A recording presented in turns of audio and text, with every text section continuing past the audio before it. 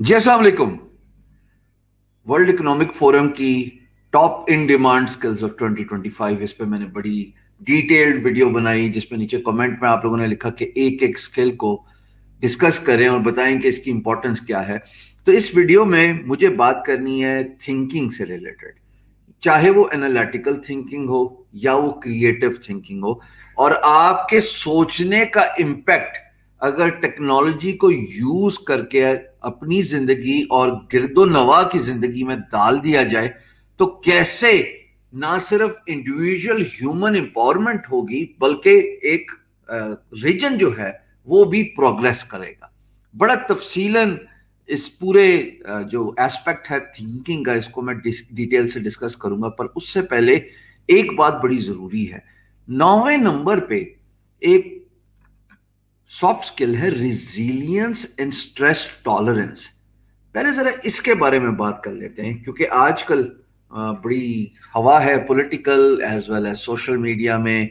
वैसी डिबेट चलती रहती है to please your political affiliations as well as to exercise your point of view कि जनाब जो मैं कह देता वो मैं कह देता, मैं बिल्कुल ठीक है, तुसी सारे काफर अच्छा ये जो इतने शदीद जुमलेबाजी और इस एक्सटेंड तक चले जाना बंदे ने कि अगले को मतलब मैंने जैसे कहा ना, काफर करार दे दिया, अगले को जनमी लानती लान तान करना शुरू कर दिया।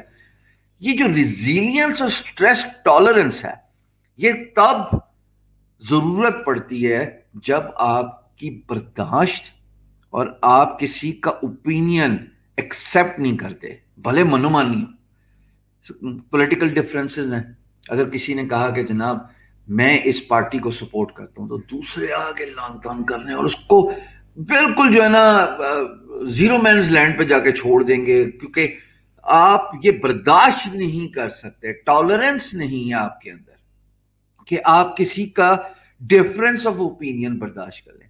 मैं अपने सोशल मीडिया में एक्सरसाइज करता रहता हूँ कभी मैं पॉलिटिकल तस्वीरें डाल देता हूँ कभी मैं यू नो you know, किसी भी पॉइंट ऑफ़ व्यू से। Just to see how people respond to a situation or a picture.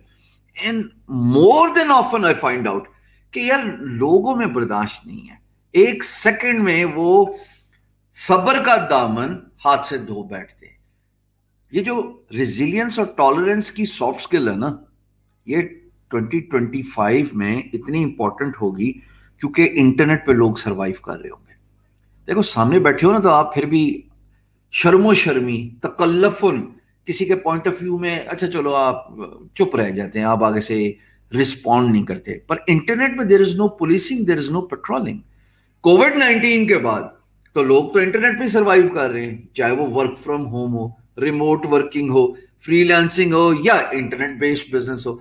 In one capacity और अनदर बिकॉज़ लोकल गवर्नमेंट्स ने पूरी दुनिया में कहीं ना कहीं depending on the country you belong to आपको स्मार्ट लॉकडाउन तो मिला ही मिला होगा।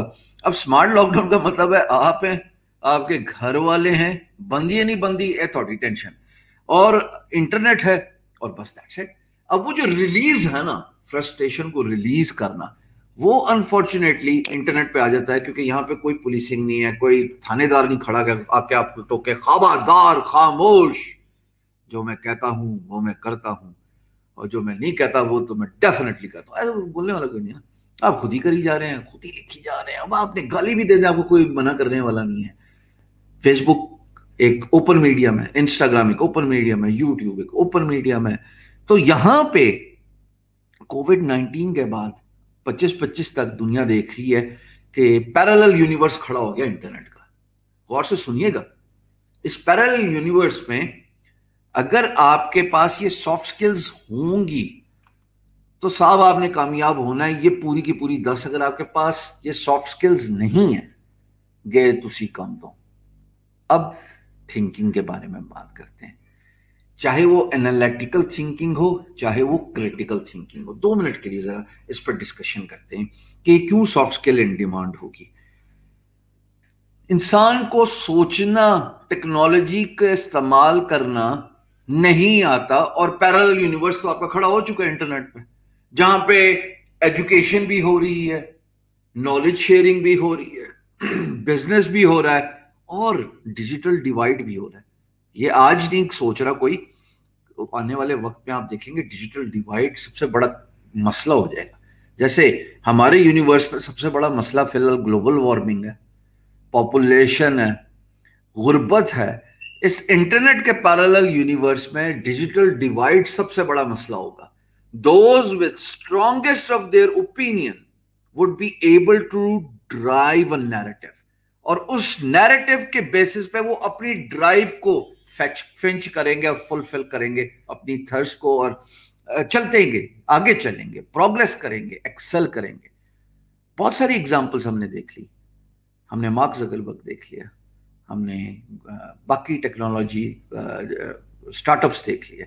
अभी आपके सामने क्लब हाउस आया स्टैक आ गया।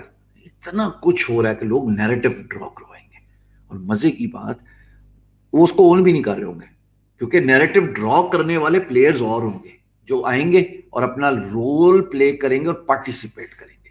तो सब सोचना कि मिसाल के तौर पे हम में से एक आउट ऑफ़ दस बंदा एक दस में से। उसको यूज़ करना आता है हाउ टू गूगल करके, या यूट्यूब पे जाके, क्योंकि हमारी क्रिएटिव थिंकिंग क्रिटिकल थिंकिंग नहीं है। क्रिटिकल थिंकिंग क्रिएटिव थिंकिंग के बाद वाला मरहला है जहाँ पे आप किसी भी प्रॉब्लम को, किसी भी दिक्कत और मुश्किल को सॉल्व करने के लिए मुख्तलिफ़ जावियों से उस पर नज़र षानी करते आप मनोअन्नी तस्लीम करते कि यार, अगर ये प्रॉब्लम है तो बस यही प्रॉब्लम है। आप सोल्यूशन फाइंड करने के लिए, पहले तो आप देखते हैं कि ये प्रॉब्लम एग्जिस्ट क्यों करता है? क्रिटिकल थिंकिंग उस प्रॉब्लम की एग्जिस्टेंस के बाद आप कहते हैं, यार, मैं इसका क्या सोल्यूशन निकाल लूँ? क्यों ये सॉफ्ट स्किल में इंक्लूड हुआ क्रिटिकल थिंकिंग साहब बिकॉज़ जो क्रिटिकल थिंकिंग करेगा, वो कल का एंटरप्रेन्योर है, वो बिजनेसमैन नहीं है। और एंटरप्रेन्योर की लुघवी डेफिनेशन ये है कि वो स, वो शख्स जो किसी भी मुश्किल का किसी भी प्रॉब्लम का सोल्यूशन देता है। हमारे दुनिया में पानी बहुत बड़ा मसला गुर्बत बहुत बड़ा मसला। क्यों एक certain fan following internet entrepreneurs ने हासिल कर ली? इसलिए कर ली कि प्रॉब्लम का सोल्यूशन निकाला। मैंने कहा जनाब कि लोगों को घर बैठे पैसे कमाना दुनिया में कभी भी इतना आसान नहीं था जितना आज के दौर में मैंने freelancing digital marketing blogging social media marketing digital products और यूट्यूब इन सारी चीज़ों के बारे में बात करना शुरू कर दिया। So I have you know cemented my position ये जो क्रिटिकल थिंकिंग है कि प्रॉब्लम को मुख्तलिफ़ जावियों से, उस पर मुख्तलिफ़ फॉर्मूले लगाना, मुख्तलिफ़ एंगल से उस प्रॉब्लम को नज़र षानी करना और फिर सोल्यूशन निकालना, ये आने वाले वक्त में बहुत इन डिमांड होगा और ये काम मशीन नहीं कर सकेगी। जब फ्यूचर में आपकी लड़ाई मशीन्स के साथ है ना तो मशीन्स बहुत सारे काम नहीं कर सकेगी। उनमें क्रिटिकल थिंकिंग नहीं कर पाएगी क्योंकि बेस्ड ऑन सर्कमस्टांसेस वो एक सेट ऑफ़ डाटा से डिसीज़न ले रहा होगा। वो सेट ऑफ़ डाटा जो उसने over a period of time gather किया हुआ कलेक्ट किया हुआ खुद अपने मुशाहिदे से, जैसे डिस्कवरी और परसुएरेंस कर रहा है मार्स में, या फिर जो इंसान ने उसको फ़ीड किया हुआ तो यहाँ पे फिर अगली बात निकलती है क्रिटिकल थिंकिंग की इंपॉर्टेंस के बाद क्रिएटिविटी क्रिएटिविटी बहुत इन डिमांड होगी मुस्तकबिल में।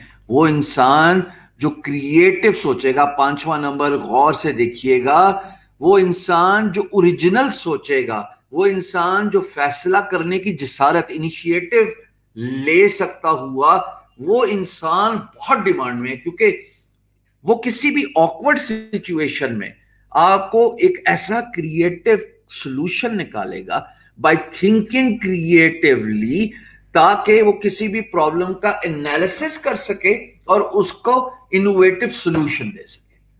अब पता लगा technology critical problem solving thinking और उसके बाद एनालिटिकल थिंकिंग सब टेक्नोलॉजी के इर्द गिर्द कैसे घूम रहे और जब ये दुनिया आबाद होगी, हो चुकी है तो फिर नौवे नंबर पे रेजिलियंस स्ट्रेस टॉलरेंस और फ्लेक्सिबिलिटी हर चीज़ एक दूसरे के साथ इंटरकनेक्टेड है। But it all start with your thinking process कि आप कितना analytical out of box creative सोच सकते हैं। आपको याद होगा, मैंने एक वीडियो बिल्कुल शुरू में अपने यूट्यूब के करियर में बनाई थी कि अगर आपने कुछ सीखना ना तो वो प्रॉब्लम सॉल्विंग है आप कोई मसला अपने आप को दें और उसका सोल्यूशन निकालने के लिए काम करें। जब आप उस पर घंटे सर्व करेंगे, जब आप उस पर सोचो, विचार करोगे तो फिर आप कोई भी ओपिनियन मनोअन नहीं तस्लीम करोगे। आप कहोगे, नहीं यार, इसको इस तरह भी तो किया जा सकता है। इसको इस तरह भी तो किया जाए। क्यों सतरंगी फॉर्मूला इतना पॉपुलर हुआ साउथ एशिया में? पाकिस्तान, हिंदुस्तान। वो इसलिए पॉपुलर हुआ साउथ एशिया में क्योंकि वो क्रिटिकल एनालिसिस दे रहा था और फिर सोल्यूशन दे रहा था। एनालिसिस के बात करो जो क्लाइंट माँगता है। सोल्यूशन वो बताओ जो तुम कर सकते और सॉफ्ट स्किल्स के साथ अगली वीडियो में हाजिर हूँगा। उम्मीद है ये वीडियो आपको पसंद आएगी। अगर आई तो इसको लाइक करें। और अगर आप पहली दफ़ा मेरे फेसबुक या यूट्यूब पे हो तो प्लीज़ फॉलो और सब्सक्राइब कर लीजिए। Thank you very much